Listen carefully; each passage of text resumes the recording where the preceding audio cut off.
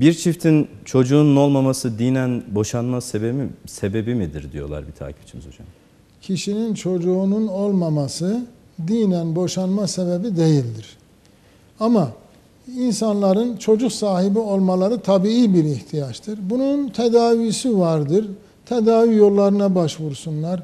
Hatta hatta imkanları varsa eğer normal yoldan çocuk sahibi olamıyorlarsa tüp bebek yöntemiyle yine koca ile kadının yani nikahlı koca ile kadının yumurtası ve sperminin işte laboratuvar ortamında birleştirilip embriyo haline getirilmesi sonra da yine nikahlı kadının rahmine e, e, dahil edilmesi, ithal edilmesi neticesinde böyle bir yöntemle e, tüp bebek dediğimiz e, usulle çocuk sahibi olma imkanı da vardır. E, Din İşleri Yüksek Kurulumuzun bu konuda fetvası vardır.